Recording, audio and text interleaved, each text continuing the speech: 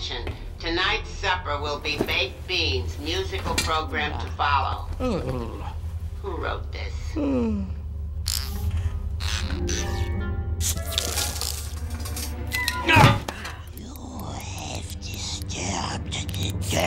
Ah, pardon me? You have disturbed the dirt! Dirt from around the globe spanning the centuries!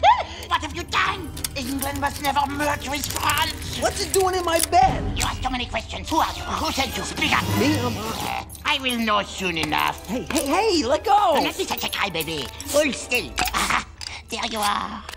Now tell me your story, my little friend. Parchment fiber from the Nile Delta, circa 500 BC. Lead pencil number two. Paint flakes of a type used in government buildings. You have a cat, short hair Persian, two years old, third and a litter of seven.